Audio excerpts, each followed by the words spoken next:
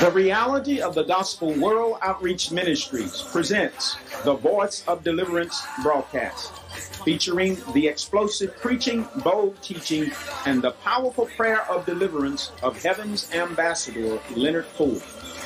Brother Ford is a minister that does what others don't, and he has a ministry that goes where others won't. He and his wife Jessie travel across America and around the world preaching hope and bringing deliverance. Whether they are in the church, under the gospel tent, or on the mission field, they boldly declare that if you continue in the word, you shall know the truth, and the truth shall make you free. Now I present to you Brother Ford. and I didn't take the time to build my faith to believe it in, since I ain't got enough faith to believe in that extra money, I do want to participate. Why? Because I'm committed. But folk that's not committed be like, well, you know, he said the Lord told him, I'm going to see. Quiet in Zion. Let's move on. There were two words in there that was, that was, used in line with uh, believe not, and it, it meant to have no belief or to be unbelieving. That was another word that, that meant willfully disobedient and refusing to believe. Now, Jesus on the road to Emmaus, we always talk about the fact that, Je- that, the men said, Did not our hearts burn while he talked to us by the wayside? But there's another passage in there that I never hear preached when Jesus said, Oh, slow to believe and slow of heart. He said, You, you, slow to believe. There's a lot of folks, you know, they gotta they gotta feel their way through everything. Let me see. Now you you at the finish line before they believe you running the race. Then there was five words when he said no faith. And it actually meant faithless. It meant no activity, disbelieving without Christian faith, literally to be a heathen and untrustworthy. Well, I was glad to see heathen in there because every born again man has the measure of faith, and we are faithless and without Christian faith. But my problem is, and in the Bible, when people join church, uh, they call them believers. They said believers were the more added to the church. Well, if we are all believers, why is there so much unbelief among the believer? Mm. We got unbelieving believers in the house. I feel you. Let's go on to St. John chapter 4. Uh-huh. See, we, we got we, we got to get to this place. If I'm a believer, then I need to be a believer. Come on. What, what, are the, what are the believer doing not believing? An unbelieving believer. You a believer, but you don't believe nothing. In St. John chapter 4, there's a tremendous verse here that Jesus brought out in verse 48. He said, Then said Jesus, except you see signs and wonders, you will not believe. Now, I, I'm, I'm prone to believe that that's for the sinner, that's for the unbeliever. They got to be persuaded by manifestation. But the Bible said uh, to Philip, amen, the Bible said to Thomas, Thomas, you believe because you have seen. Blessed are they who have not seen and yet believe. So I'm telling you that we are supposed to be having a show and tell gospel. We should be able to take it to the world, amen, display it until they begin to believe because they see God do what we say God can do, because they see his manifestation, because they see his glory, because they see his power. Do you not know when Brother Poole built that church down in Des Arc? That was, that was, that was haters that said he can't do that down here in Des Arc. Well, once he got it built, you know, that was a few folks that just came to see. They didn't want to come to worship, they wanted to come look at it. And when they got in there, so Mm. He did good. The Lord been good to him. Now they believe that you can do it in Des Arc. Why? Division speaking.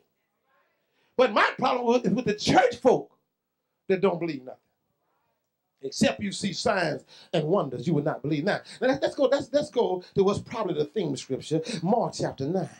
Uh, th- this is the place where I want I want the saints to, to begin to get a hold to something. When you got unbelieving believers in Mark chapter nine, Jesus had been on the mountain of the transfiguration, prayed until his countenance changed. Is your prayer life changing your life? Does your praying ever change you? Does your praying do anything for you? Uh, it bothers me for you to hold a prayer line and everybody you pray for get deliverance and you put the put down the oil bottle and you still bound. Your prayer life should change your life.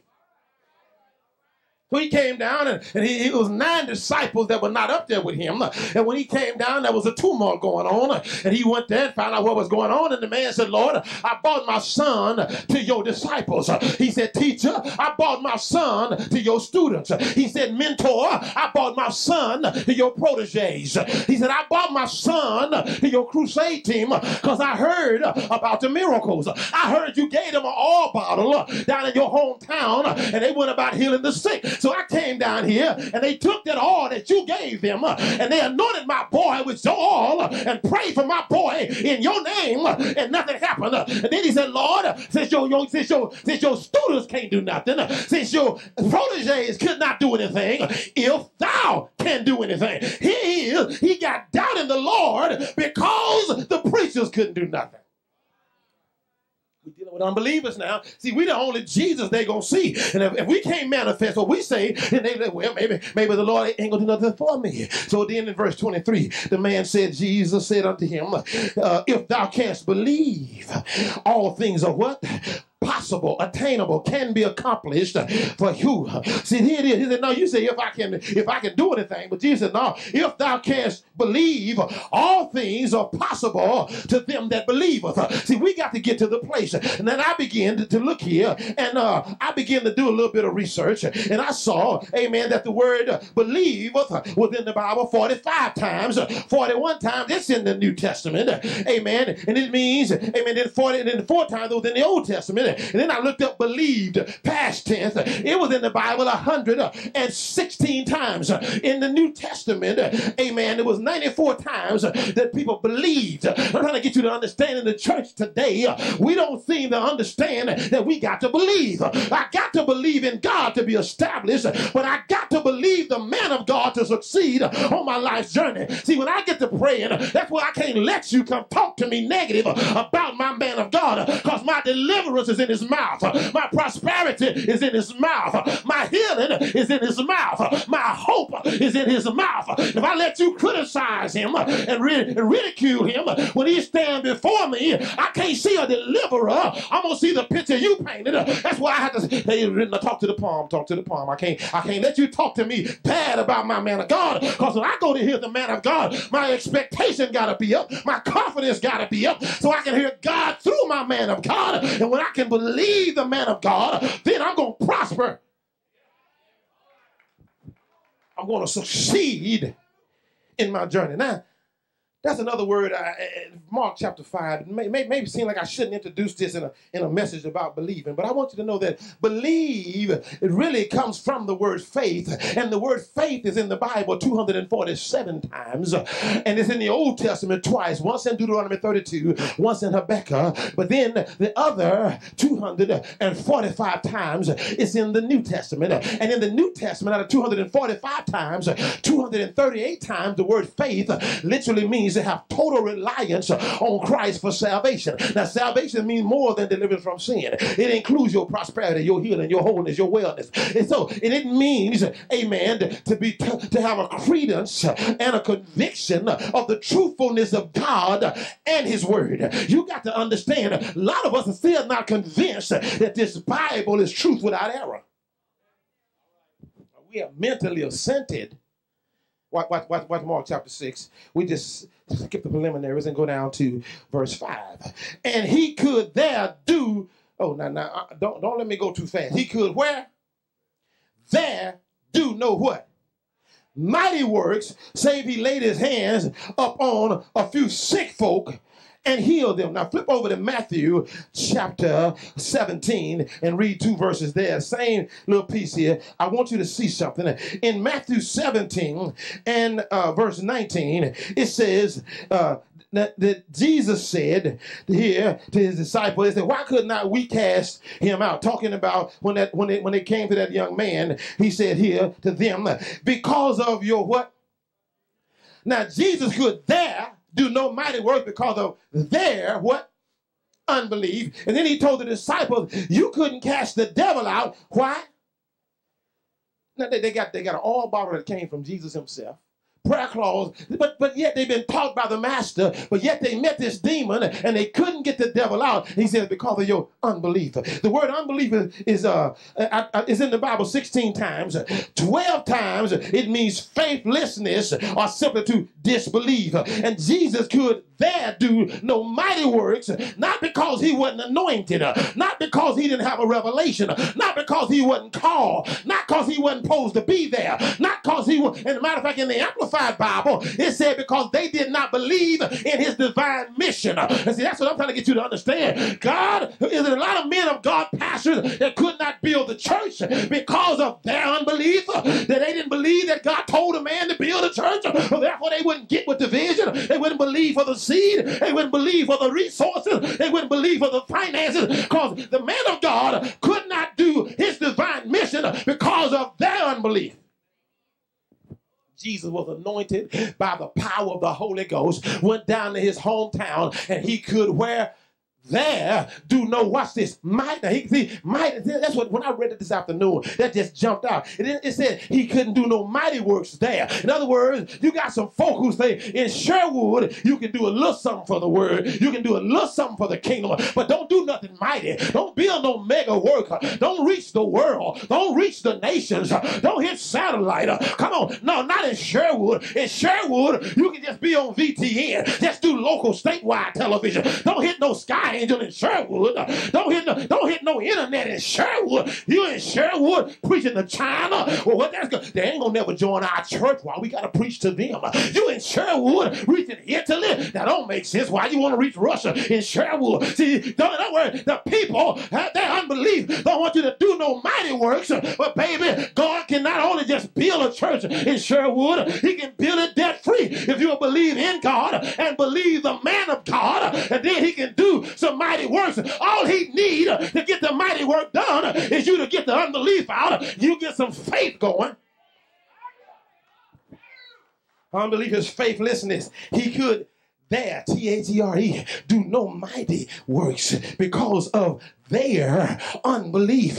Their unbelief paralyzed Jesus' anointing. The man said, The Spirit of the Lord is upon me because he have anointed me to preach the gospel to the poor, to heal the brokenhearted, to preach deliverance to the captives and recovering of sight to the blind, to set at liberty them that are bruised. But yet he could not do it there because of their unbelief. And I'm trying to tell you, sometimes the man of God get to a place and look like won't no rivers flow out of his belly, won't no life come out of him. Then bless God. I know folks get on the bus with their pastor, drive 25 miles down the road, and the pastor preach like a man from heaven. And all the members look upside his head and say, Pastor, you don't preach like this at home. He look around, and y'all ain't hungry. At home, y'all don't pull nothing. At home, y'all don't bleed nothing. At home, at home, you take me for granted. At home, you sit down. But these folks wanted something. It was in your man of God all the time, but your unbelief wouldn't let it out. So every now and then he'd get a headache here. Every now and then, amen, somebody with a sprained ankle will quit limping. But you don't see cancer dying at the house. But every time the man of God goes somewhere where they release their faith in what's in him, he come back with testimonies. He come back with miracles. But yet in the house, he got crutches around the wall that didn't come from nobody in the pew. Why? Because he couldn't that do no mighty works because of their unbelief. You got to believe in the Lord your God, but you got to believe your man of God. See, we we we coming to a time. Go, ahead. go to. Well, let's since we in Matthew, let me just go on to Matthew chapter nine. I like I like these two old blind boys anyway. They they got a hold to something. There were two old blind boys in Matthew chapter 9, verse 27. And Jesus departed. Thence two blind men followed him, crying, Son of David, have mercy on us. Now they got a revelation that you the Messiah, you the son of David, you the one that should come. Have mercy upon us.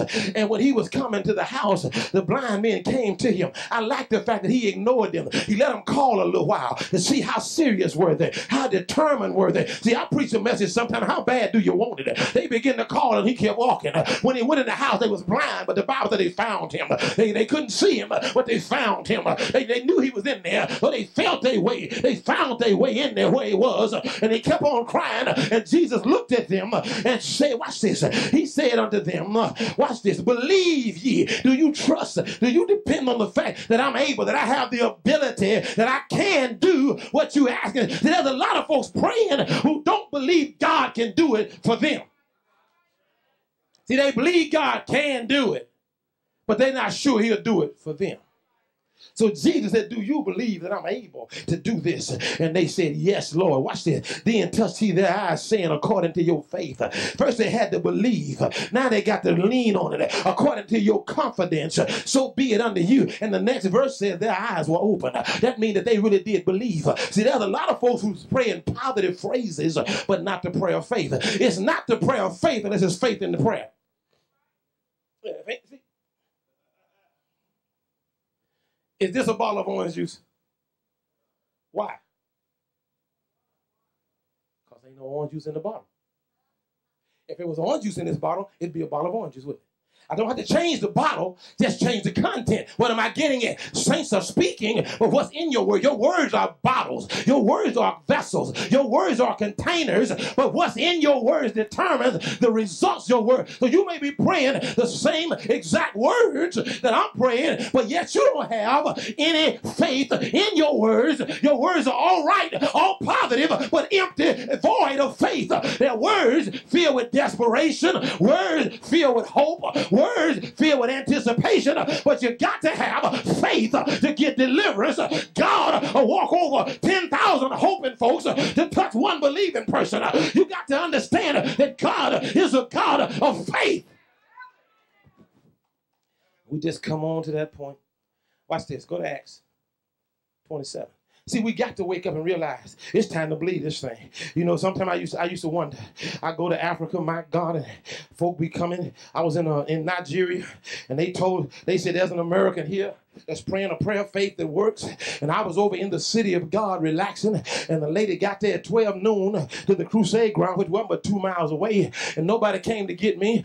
I can't. I showed up at six o'clock, crusade at seven. I'm setting up the video camera. When I got the video camera, almost set up. They said, "There's a lady here to see you." I said, "Well, okay." When I finish, because I don't know how long she's been here, and I get the, I got a job to do. I get the camera set up, and it's about 15 minutes for service. So I said, "Well, where is the lady?" Come to find out, she's been there since 12 o'clock. I said, woman, I was two miles from here. Why? She said, oh, I don't mind waiting. Her baby had a fever of 105 and she was demon possessed. But she heard that I prayed a prayer of faith that worked. And she didn't mind waiting almost seven hours to get her deliverance. But yet we can't even come to church because we don't feel good. Our baby too sick. We got to stay at home. And I want you to know it didn't take 15 minutes. I laid hands on the baby. God instantly healed the baby. I cast the demons out of her. She got up and had to walk seven miles back home to her husband and her other children. And I said, God, why come in America that person would have never got healed because they never would have got prayer because they never would have came because they never would have waited that long. They wouldn't have been there. See, you, can, well, you know what it was? There was no alternative in Nigeria. Either God is going to do it or I'm going to stay sick. Either God is going to heal me or I'm going to stay possessed. But in America, I'll get me another prescription. I'll go see a specialist. I got good insurance. I'll go to another hospital. I'll go to another. We'll go to Memphis. We'll go all the way to Ohio trying to find a specialist. But we're coming to church and sing. God specializes. It's time for somebody to believe in God and believe the man of God and believe if the man of God lay hands on you in the name of Jesus that you're going to be healed. You're going to be made whole. You're going to be delivered. But yet we won't do it. The doctor tell you to take prescriptions that sometimes got side effects and ain't no side effect to prayer. Hallelujah. We're afraid to come down the aisle and let the man of God lay hands on us. But God wants to bring a people to a place of deliverance. Acts 27. They was out there on the boat. Storm came. Water getting in the boat. They getting scared. Throwing and tackling out the boat. Paul at the bottom of the boat praying. 14 days, they ain't seen no daylight, no sunshine, rain, the tempest didn't let up, wind never did lighten up. The Bible said all hope was gone. Huh? All hope was, matter of fact, let's read from verse 20. And when the sun nor stars and many days appeared, and no small tempers lay on them, all hope, expectation, anticipation that we should be saved. Now, we ain't talking about salvation from sin, we're talking about delivered from this storm. Was what? That'll open your eyes, religious folk. This storm didn't come to make them strong. This storm didn't come to build their faith. This storm took their hope. Do you not know faith is the substance of things hoped for. Things that's coming against you come to snatch your hope. The devil can't get your faith unless he gets your word. But if he can take your hope, your faith has nothing to produce. If he can take your hope, your faith ain't got nothing to act on. And you got to have, amen, strong hope in order for the power of God to be released. Your faith got to draw it. But if there's no expectation, all hope was then taken away. Push these up a little bit. Watch verse 25. I'm just going to jump to verse 25. Now I better, I better let y'all get verse 20, verse 23. Well, we better back up to verse 22. Well, see, you better get verse 21 because Paul said, after long, watch this, abstinence. Notice he didn't say absence. Abstinence is absence. He been abstaining from food, fasting for 14 days. See, in Matthew 17, where I read, Jesus said, Because of your unbelief, howbeit this kind can come forward by nothing but by prayer and fasting. We preach that always, as this kind of devil can only come out by prayer and fasting. But this kind of unbelief and doubt can't come out of your heart except by prayer and fasting. Why? When you pray and fast, you shut down the flesh and the emotions and bring the spirit to the forefront, and your unbelief was in your head. Remember, the man said, Lord, I believe, help thou my unbelief. I got faith in my heart, but my head giving me trouble. So when I pull aside and fast and pray, meditating on the word, my faith level rises and unbelief is pushed out. Now I can release my faith and release the anointing of God. So Paul came forth fasting and praying, flesh shut down while they out there in the flesh full of fear. He come off the bottom of the boat full of faith. And he said these words. I told you not to leave, but you wouldn't listen to me. Verse 22. I exhort you to be of good cheer. Now these folk ain't got no hope. And Paul said, smile. Be happy. Cheer up. Matter of fact, want y'all eat a little something. God loves you. For there stood, there shall be no loss of any man's life among you. See, what am I getting at now? Now you got to believe the man of God. All hope is gone, and the man of God comes with a word. He didn't bring no money. He didn't bring no life preservers. He didn't bring another yacht. He came with a word from God. And you're in their despair, when they were totally hopeless, a man that had been in touch with God come from the bottom of the boat in shackles with a word from God. He said, For there stood by me this night the angel of God, whose I am and whom I serve. In other words, I know my God.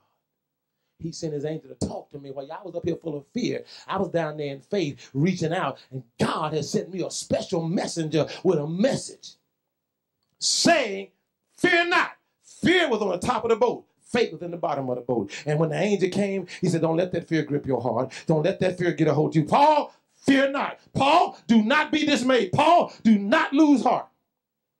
If you take the F off of fear, it spells ear. And the only way for you to fear is to lend your ear to the accusations of the enemy. When Jairus came to Jesus, he said, Come go home with me. My daughter lie at the point of death. When you lay hands on her, she'll live. He said, I'll go with you. The lady with the issue of blood got in the press, took her a miracle. Jesus turned around and said, Daughter, thy faith have made thee whole. Here come a negative report that came to Jairus and said, Why trouble the master any further? She is dead dead. And Jesus looked at him and said, Fear not, only believe. Wait a minute. Where was fear going to come from? The man came to Jesus in faith. That negative report of the enemy came to bring fear. But as soon as Jesus heard that, ignoring what they said, he looked at Jairus and said, Don't you change. It. Don't come out of faith. Stay in faith. Only believe. Fear not. Only believe. In other words, you said, when I lay hands on her, she going to live. Well, just keep believing that. Keep believing what you have said. I'm in agreement with you if you go to fear, we out of agreement. If you stay in faith, if you only believe, it shall come to pass. If you just believe this thing. And Jairus stayed in faith. When Jesus got there, he put everybody out. He took Peter, James, John, Jairus, and the mama. That's five. Five is the number of grace. Come on here. And Jesus had faith. And by grace through faith, he walked in there and took that girl by the hand and said, Talitha cumi. Damsel, I say unto thee, arise. And the Bible says she got up and she was hungry. What you talking about? He stepped in there and the gift of faith, the working of miracles, and the gifts of healing all begin to flow together. And a dead girl come alive and said, Give me something to eat. Why? Because Jesus said, Fear not, only believe. Stop giving your ear to the devil. Faith come by hearing, hearing by the word of God. Fear come by hearing the word of the devil. Look what Paul said here.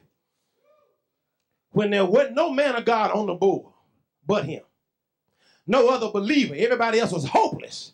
He didn't look for no agreement. He didn't say, if I can just get one of y'all to believe. 269 doubting, fearful, hopeless folk.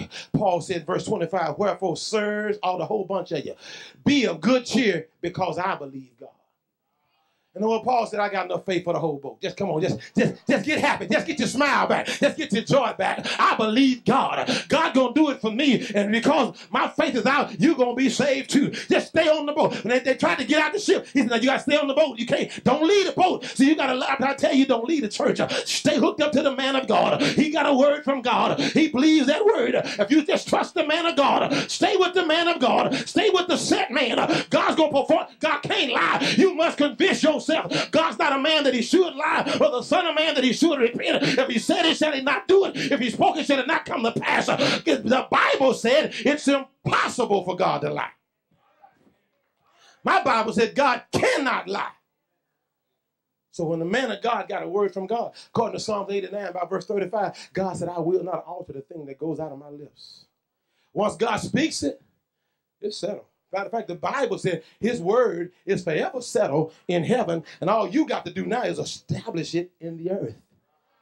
But you got to believe your man of God. You got to believe. See, we, we believe in God, but we don't trust the man of God. You got to believe that the man of God is not out on a lark, that he ain't competing with his buddies, but that he was on his face one day, just enjoying fellowship, didn't have no mind to build nothing. And the Holy Ghost spoke and said, It's time. I want you to do this. Well, he looked out there and he looked at your condition because a pastor has always got compassion for his flock. And he said, Well, Lord, you know, I, and I, I ain't doubting you, but I'm just looking at the condition of the sheep. And God is saying, Look at the condition of the faith. You just preach the word, you just put the word out there. If they'll just grab this word. See, I found out if you you step out on faith, uh, God will meet you where your faith is. Your faith would, t- listen, I found this out. Your anointing would take you to the point of your faith. Yeah, wherever you focus on, why you think you got some folks who've been driving cars that's too small for them all their life? Because they ain't got enough faith to buy a bigger, six foot five driving around here in a Saturn.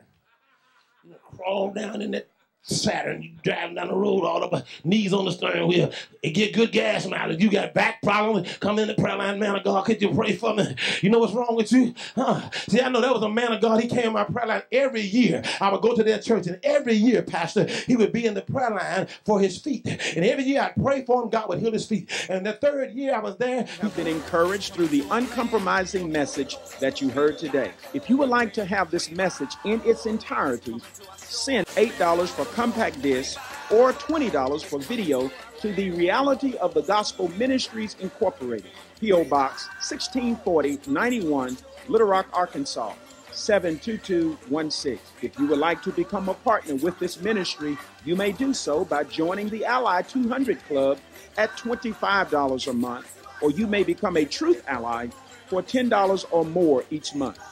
Send your offerings to the Reality of the Gospel Ministries Incorporated, P.O. Box 164091, Little Rock, Arkansas 72216. If you continue in God's Word, you shall know the truth, and the truth shall make you free.